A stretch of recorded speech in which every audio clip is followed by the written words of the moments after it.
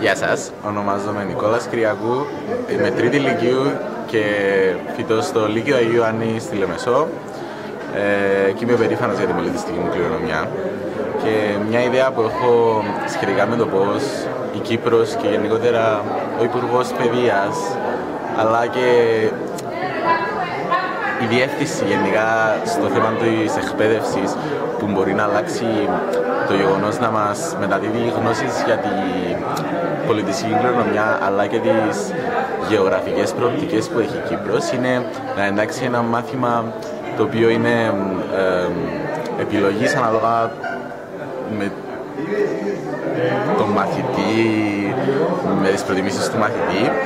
ε, το οποίο θα λέγεται για παράδειγμα ε, γεωλογία και φύση. Ε, το οποίο θα μπορεί να υπάρχει στην επιλογή στη Δευτέρα Λυκείου ε, που θα είναι μια-δύο ώρες την εβδομάδα κάτι που δεν θα επηρεάζει τον μαθητή από τα εξεταζόμενα του μαθήματα.